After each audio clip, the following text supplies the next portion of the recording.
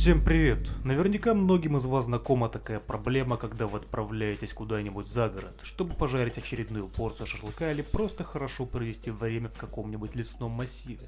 Но спустя считанные минуты появляются они, и они способны испортить вам любой вечер, высасывая вашу чертову кровь. Всех этих тварей нужно истребить, и следующие предметы, которые видите на экране, помогут вам в этом деле. Вам нужно средство от комаров, банка, хлопковая нить, ножницы и пинцет.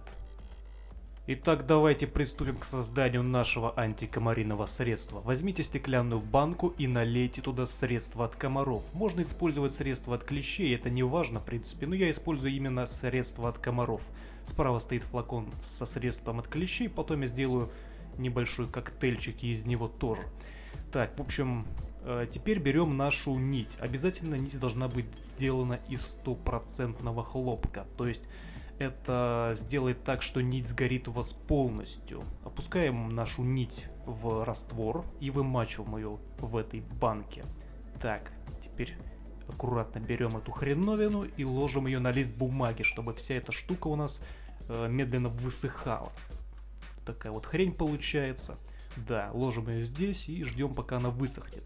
Ну, точнее, мы ее потом повесим, она высохнет где-нибудь на солнце, она сохнет минут 15-20, а в комнатной температуре где-то часа 2 или 3.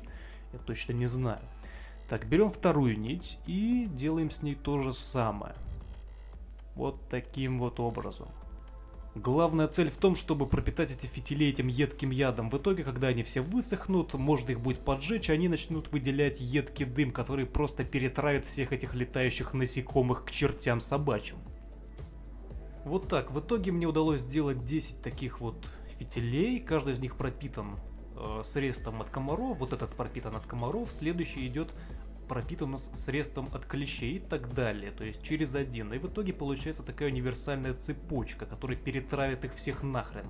Все эти фитили я нацепил на такую вот деревянную палочку, теперь их удобно, так скажем, переносить, куда-нибудь прицепить, подставить, вот так вот. Можете изготовить их любой длины, любого размера, любого диаметра. В принципе, это дело уже лично ваше. Но я сделал их вот такими вот для демонстрации. Так, ну вот и пришло время самой демонстрации. Я поставил эту штуковину на улицу, поджег ее, и она начала не гореть, а именно медленно тлеть, выделяя этот едкий дым. На самом деле, улица просто вся воняет какими-то непонятными химическими средствами от комаров, блин, но в радиусе 20 метров при ветреной погоде комаров точно быть не должно, а в безветренную погоду в радиусе 30 метров это уж точно.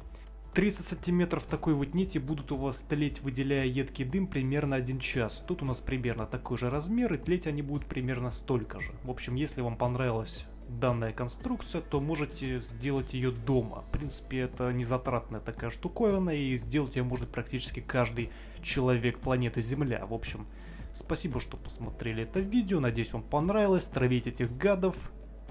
Довольно-таки бюджетная такая хреновина. Вот и все.